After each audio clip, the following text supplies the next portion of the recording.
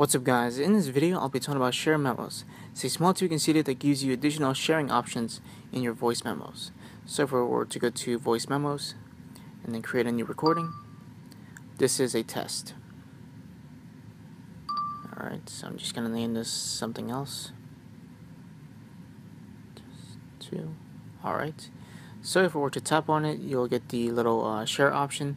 If I tap on that, you're going to get this following uh, pop-up. Normally you would get email and message, but since I don't have email set up, it only shows messages. So what ShareMemo does is gives you this additional option here called Open In. And then from here, depending on what you have installed on your iDevice, you'll get the option to open an iFile, open in remote files, open in Dropbox, and so on and so forth.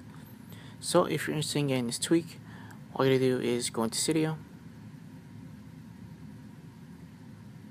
go to search, and you want to type in ShareMemos, all in one word.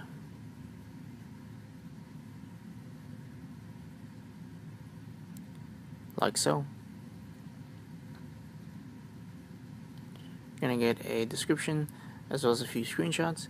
But once you have it downloaded and installed, you want to go into settings, go all the way down to you see ShareMemos, and you want to make sure that it's enabled. Now, if I remember correctly, it was disabled when I first installed it.